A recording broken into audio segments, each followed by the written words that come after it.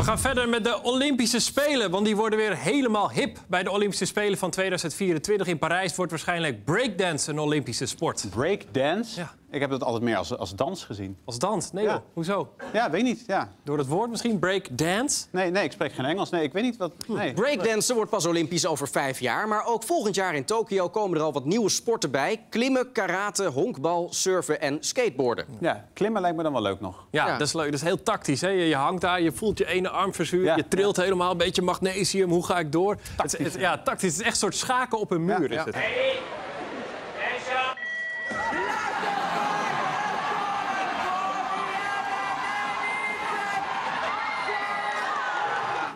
Ja. Oké. Ja, ik vind het leuk gefilmd zo van boven, maar ik noem dit toch gewoon kruipen. Ja. Ja, Snel kruipen. ja, Ja, snel ja, wel kruipen. snel. Ja, ja. Ja. Maar surfen, breakdansen, skaten, dat is eigenlijk mijn hele jeugd. Maak dan gewoon de hele 90s Olympisch. Doe dan ook Olympisch hakken. Ik bedoel, doe dan geen medailles, maar flippo's, weet je wel. Dat ze hem uit een zak moeten vissen, de medaille. Toch? Heb je hier echt goed over nagedacht, hè? Nou ja, kijk, ik heb natuurlijk dat rapport hè, eh, ooit geschreven.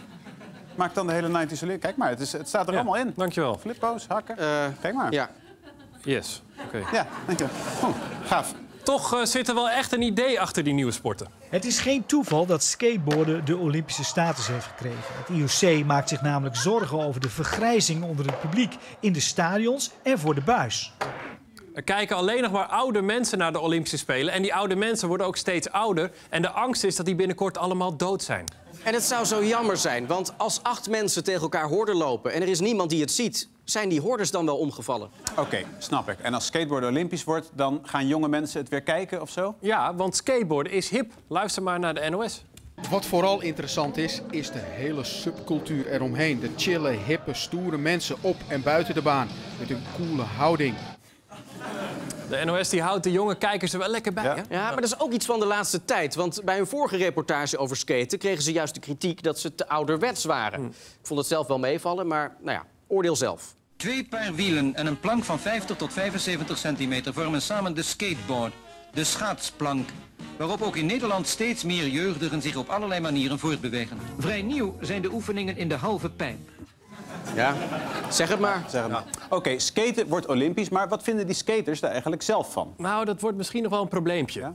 Het zijn vooral hippe dudes en vrijgevochten meiden die skateboarden. Die houden niet zo van regels. Dus er was aanvankelijk wel wat weerzin in de scene toen de sport Olympisch werd.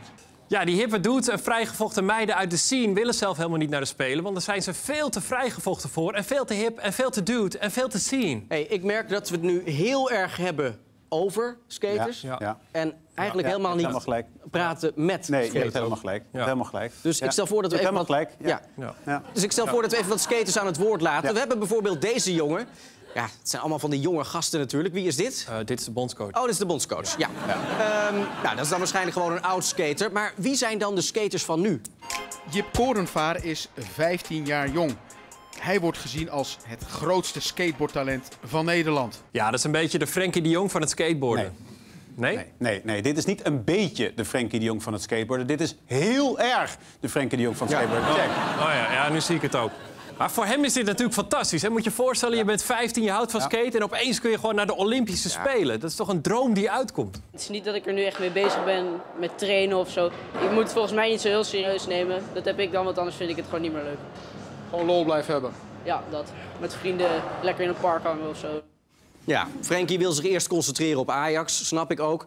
Maar zijn er dan nog skaters die wel die Olympische droom koesteren?